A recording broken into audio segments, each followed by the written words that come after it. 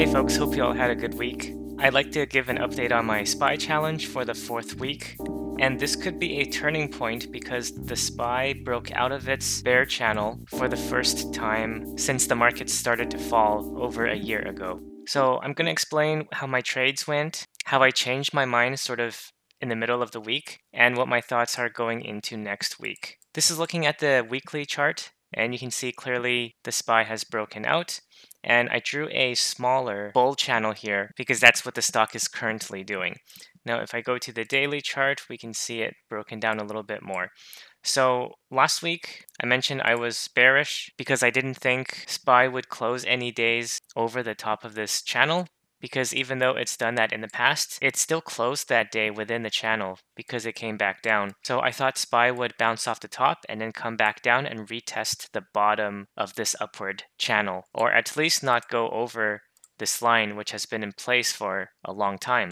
I was somewhat right up until Wednesday, but on Thursday we finally got this breakthrough my trades were going well for Monday, Tuesday, Wednesday, but Thursday, uh, because I did not expect that huge move up, I had to close one of my positions for a loss. And near the end of the trading day, I changed my mind on where SPY was going. So you can see my tweet here that I put out on Thursday. Um, I had a net loss of $595 because I closed my ratio spread, and that already cost me $250. And then I mentioned that I was bullish for Friday because once the SPY closes above this line, chances are it's going to go higher.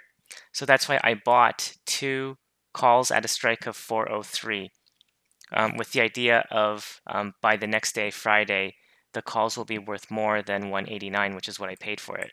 And then, of course, on Friday, the stock did go up. So I was able to sell those calls to close my position for a profit. So here's what the final tally looked like for the week. On Monday, Tuesday, and Wednesday, I did okay. Thursday was a big loss where I not only closed my position and lost money, but I also bought calls, which also cost money. So that's why it's a huge negative number here.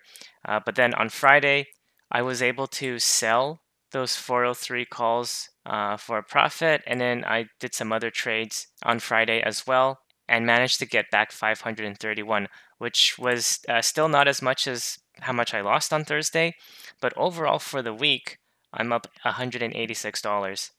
Now, in terms of what happens now, if I go to the 15 minute chart again, um, you can see over here we have Friday.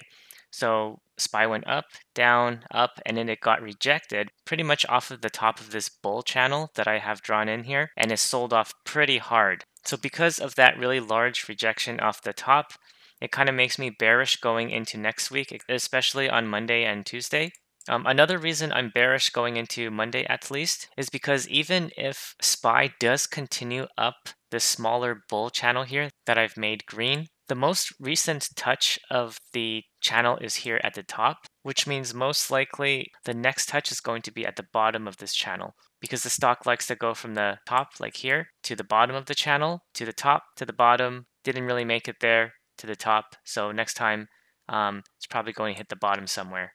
And then the third reason is because there is this uh, really important resistance line right here at around 410. There was a double top over here, and at both times when SPY reached this level, the market sold off pretty harshly. So if we do eventually go up, the market might do something like this, bounce off the top, come off the bottom, and then continue higher that way.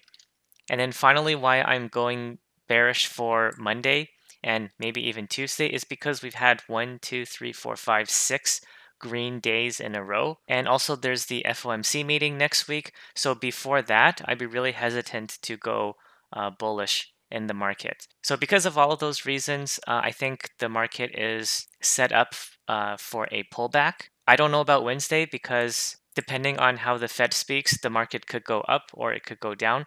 But at least on Monday and Tuesday, I would expect there to be um, at least a flattening of the market, or we have a small correction.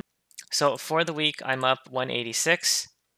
Total premiums earned is now 641, which makes my return 2.14%, uh, which is once again lagging the S&P 500 because the SPY has returned 6% year to date. So that's almost three times better the performance than what I'm getting so far. But next week we will see what happens after the FOMC meeting. Again, because I'm selling uh, puts and calls mostly, my strategy tends to be more market neutral. So if the underlying goes up a lot, I'm not going to go chase those returns because that can be pretty risky if you're doing options. Speaking of which, the only option I have open right now is just a bear call spread at 411 and 412, and that expires on Monday, January the 30th. Uh, the reason I picked 411 as my short strike is because, uh, like I mentioned, this is a really strong resistance line right here at around the 410.50 level. So 411 is just above that. So I'm basically making a bet that uh, on Monday, the SPY will not close over the previous resistance level over here. The other thing is Monday is right here. Even if I get the direction wrong and let's say the market moves higher and it goes up to the top of this bull channel, well, the top of the bull channel is at 409.5 roughly. So that's still below the 411 strike that I have. So even if it goes up, chances are this bull channel is going to hold and it's not going to go past that because it tried to go past the top of this bull channel on Friday and it got instantly rejected pretty hard.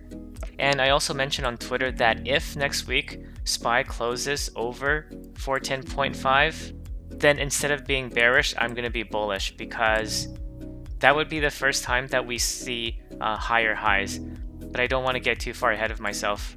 Uh, let's just take it one week at a time. So thanks a lot for watching, and I'll talk to you in the next one.